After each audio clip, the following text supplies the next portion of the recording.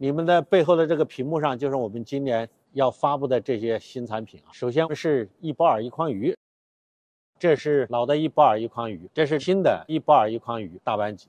来吧，一杯饵料可以做粗饵，可以做拉饵啊。这一杯饵料，一杯水，搅拌均匀，OK 了。